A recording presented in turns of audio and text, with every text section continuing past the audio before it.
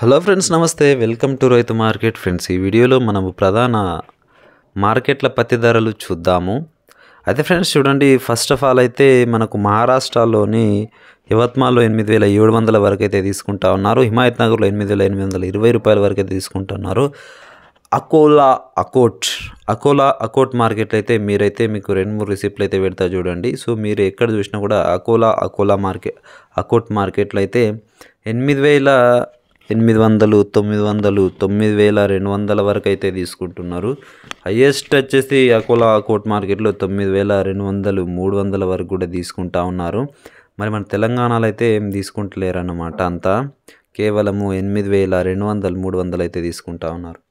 అదే మనం జుల్లూరుపాడు మార్కెట్లో కనుక చూసుకున్నట్లయితే ఎనిమిది వేల వంద రూపాయలు మహారాష్ట్రలోని ధర్మాబాద్లో కనుక చూసుకున్నట్లయితే ఎనిమిది వేల ఐదు వందలు అదోని మార్కెట్లో ఎనిమిది వేల ఆరు వందల ఎనభై రూపాయలు అయితే తీసుకుంటున్నారు. అదోని మార్కెట్లో ఎనిమిది వేల ఆరు వందల ఎనభై రూపాయలు.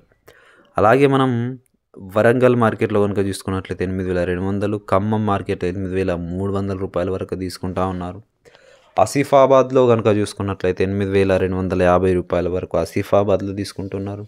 ఆసిఫాబాద్ అలాగే గజ్వేల్ ఎనిమిది కనుక వేల చూసుకున్నట్లయితే రెండు వందల వేల, రూపాయలు ఖమ్మంలో అయితే తీసుకుంటాం రెండు వందల రూపాయలు ఖమ్మం మార్కెట్ రాయచూర్ మార్కెట్ అయితే చాలా మంది అడగడం జరిగింది అనమాట రాయచూర్ మార్కెట్లో ఖమ్మంలో కొద్దిగా వేల నాలుగు వందల రూపాయలు. ఎనిమిది వేల మూడు వందల రూపాయలు అయితే పెరిగింది టాప్ వంద రూపాయలు. క్వాలిటీ, ఎనిమిది వేల మంచి క్వాలిటీ నాలుగు వందల రూపాయలు ఖమ్మంలో highest వేల ఆరు వందల రూపాయల వరకు ఎనిమిది వేల రెండు వందల. రూపాయలు వరంగల్లో. ఆరు వందల రూపాయలు బెస్ట్ మహారాష్ట్రలోని హిమాయత్ నగర్లో ఎనిమిది వేల ఎనిమిది వందల ఇరవై రూపాయలు పర్సెంట్ వస్తేనే.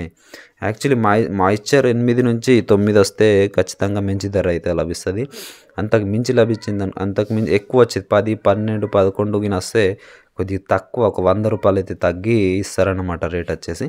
ఇదైతే రైతులు అయితే గమనించగలరు. కాబట్టి మీరు వాటర్ కొట్టి కానీ లేదంటే కొద్దిగా తడిపి కానీ తీసుకెళ్తే మాత్రం ఇంకా రేట్ అయితే తక్కువ జరిగే అవకాశం ఎంత కాబట్టి రైతులు ఏం చేస్తారంటే ఖచ్చితంగా మంచి వాటర్ కొట్టకుండా అయితే తీసుకెళ్ళండి. వాటర్ కొడితే నష్టమే అన్నమాట. రేటు తగ్గగలుగుతుంది కానీ వెయిట్ వచ్చి ఏం లాభం? రేటు తగ్గగలుగుతాయి. కాబట్టి ఖచ్చితంగా రైతులు వాటర్ కొట్టకుండా తీసుకెళ్ళాలి. క్వాలిటీ అయితే వస్తుంది అన్నమాట.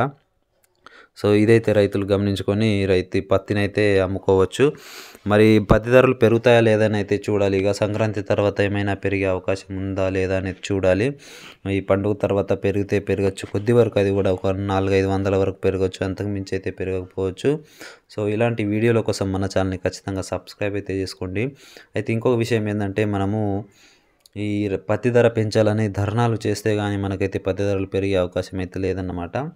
ధర్నాలు మనకు ఆదిలాబాద్లో అయితే పన్నెండు డేట్ అయితే డేట్ రోజు అయితే ఉన్నాయి కాబట్టి మనమైతే ఖచ్చితంగా అందరూ పాల్గొనాలి. Thank you.